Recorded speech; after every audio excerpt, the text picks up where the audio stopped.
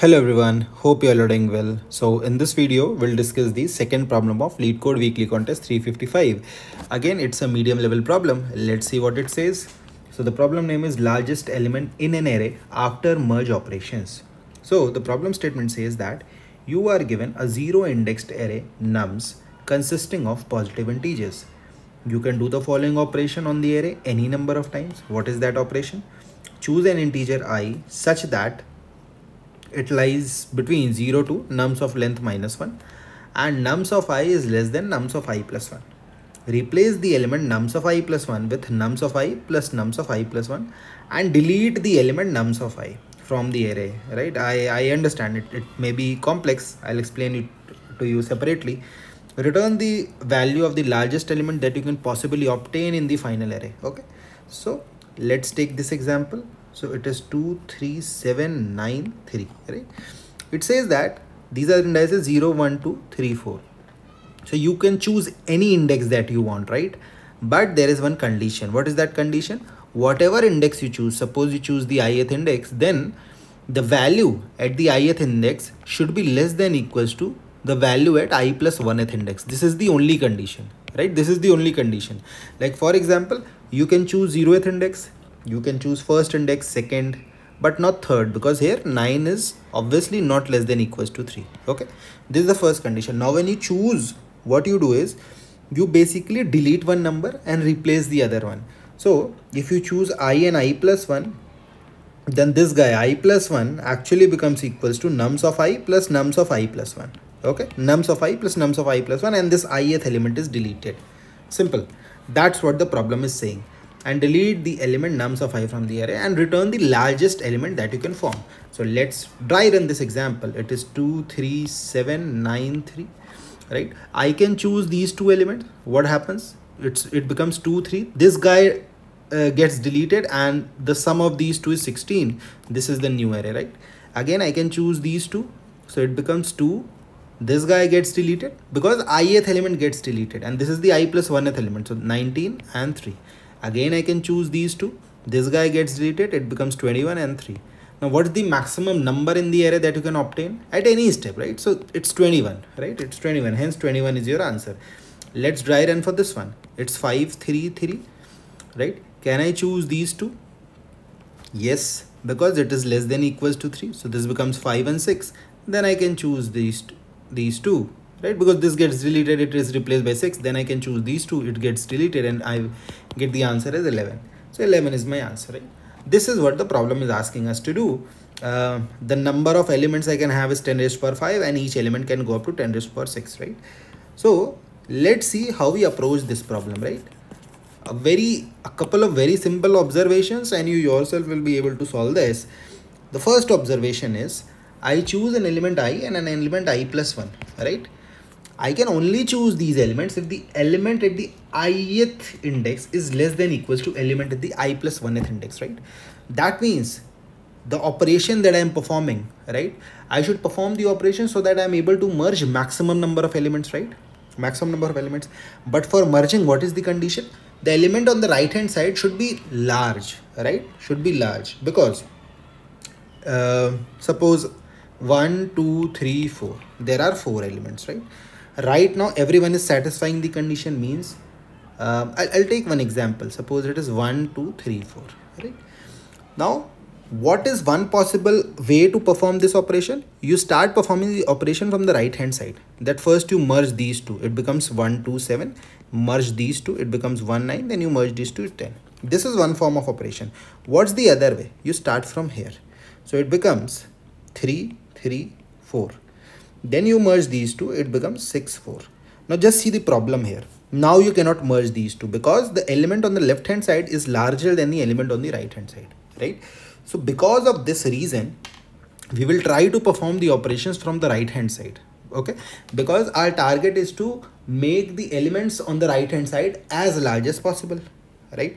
Now whenever we have to do this, right? Obviously I'll have to traverse from the right hand side. Now comes the question, how to exactly this is one of the observation. The second thing is how to exactly solve this problem. So just see 5 3 3 right? First thing i know the direction. Now what i'll do this is a single element i can't do anything. Now what about these two elements? If these two elements form a combination right? If these two form a combination then yes my array becomes 5 6 the size decreases by 1 now i am concerned about this element and the next element. Getting it? So i can take the help of a stack here i can take the help of a stack here because whatever is the status of my stack the topmost entry right? The topmost entry you can you can avoid using stack as well because the elements will be in increasing order and on and so on. I have used a stack here. So here what will happen? The topmost element whatever is this is basically taking care of the sorry is taking care of the uh, what do you call it? The the the sum the maximum element that you have till now right? For example uh, in this case it's 533 so 6 will be here right in this case it is 23793 so this is the first element i push into the stack right now the next element is 9. I know 9 and 3 cannot form a combination because this is i element, this is i plus 1. No, not satisfying the condition. Clear the stack. Now push 9 here. Then you get 7.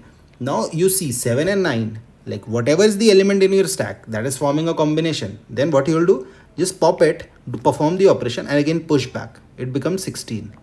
The next element is 3 can 3 and 16 form a combination? So every time i know the element that i am uh, checking is on the left hand side of the element already in the stack right? Just check it. It becomes 19 you just pop it right? It becomes 19 then you check. Can 2 and 19 form a combination? Yes you just pop it it becomes 21 and 21 is your answer right?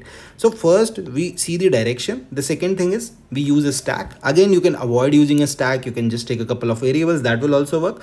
Since this was a contest the first thing that came to my mind was stack and hence i coded it that way right? But the code is very small okay? You can just try out with it with a couple of variables okay? And do let me know how how you code it up right so this is the number of elements i have this is the stack i have. Now i push the last element into the stack and my answer is obviously since this is the only element i've considered till now right?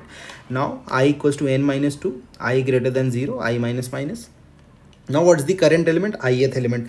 I have to compare the ith element with the topmost element in the stack or rather the only element in the stack right? So I take a variable for that so that the number of if else if and else, else conditions are reduced right? So popped element equals to zero right now if if the stack is not empty if it is not empty then just pop the element right just pop the element now there are two conditions there are two conditions whatever is the element in my stack that is forming a valid pair or that is not forming a valid pair. In both the cases, I have to pop it. If it is not forming a valid pair, I have to discard it. If it is forming a valid pair, I have to pop it, add it to the current element and just push it, right? So that's what I'm doing. This is the popped element, right? Now, popped element equals to, now if the popped element is greater than equals to current, that means this is the current element this is the popped element right now if this guy is less than equals to the popped element that means the element on the right hand side is large so what happens popped element will be as it is else i'll i make it zero. Now this zero is because again i'm saying I, I just wanted to avoid the if else condition so that is why. This zero is basically to tackle the condition where your current element is suppose six and the element that you have in your stack is three right? Now these two cannot form a valid combination so popped element will have value 3 but actually I should not add anything right? I should just push it. In this case I should just just push 6 however if it was opposite it was 3 here 6 here I should push 9 so that is why if this is the combination you make it 0 if this is the combination don't make it 0 so that is why right? Uh, s dot add current element and the popped element. Simple. Now just update your answer. Answer equals to max of answer. Math dot max of whatever is your current element and if it's not empty then the topmost element in your stack right? Again there could be different ways to code the solution but ultimately what i want, wanted to say is the intuition is you move from the right hand side i have already told you the reason. The second thing is you can just take a couple of variables as well to solve it because here at every step i'm squeezing the size of the array and i'm just concerned about the latest value that i have just created right? So yeah that's what i uh, we can do in this problem. So yeah i hope you learned something new from this video. Do support it by giving a thumbs up. Do subscribe to the channel as well. In case you have any queries related to the solution mention that in the comment section. I'll revert on each one of them. Also try to solve it using a couple of variables. Mention like you can just attach the link of your solution in the comment section. By the way i attach the link to my solutions accepted solutions in the description of every problem. So you, you can just go and check the this accepted solution as well right? So yeah thank you. Take care. Bye bye